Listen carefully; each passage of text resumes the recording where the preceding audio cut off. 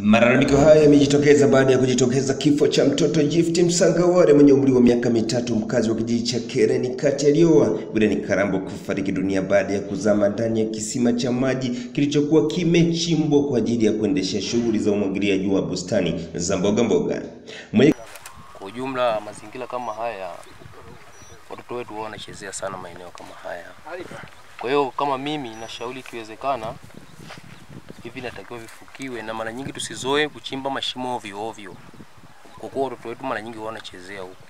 Sasa mtu kama umeanzisha bustani kama hii alafu kachimba kisima chako bila kuweka tahadhari yoyote, ina maana kwamba hii si kwa mtoto tu, bali hata kwa mtu mzima. Eh, maana watu wanakuja mazingira haya, mtu mwingine anaweza katoka melewa asema ngoja nikaoge, anakuja kufika maeneo haya, mtu ana, ana, ana, ana, ana, anataka kuoga, anateleza. Baadaye kidogo kwenye muda wa saa tano tukasikia kelele huku, basi tukaanza kutafuta ni wapi kelele zinatokea. Tulivyofika hapo, basi tukakuta hapa kuna watu wamejaa.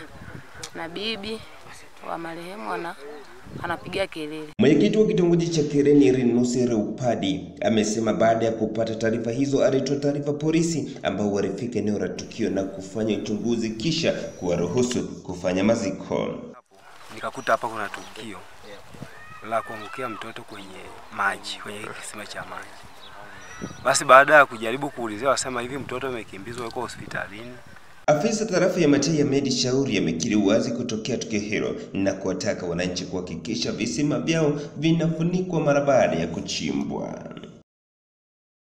E, mtoto huyo alifariki baada ya kutumbikiwa katika kisima ambacho kilikuwa kiko wazi, na lakini pia tunatoa wito kwa wananchi wale ambao walikuwa wakichi- wakichimba hivi visima kutusaidia kuweza kufunika hivi si. Hata hivyo, hilo ni tukio la pili kujitokeza katika maeneo hayo, ambapo tukio la kwanza watoto wawili walifariki dunia baada ya kuzama kwenye kisima kisha kufariki dunia katika kata ya Matai.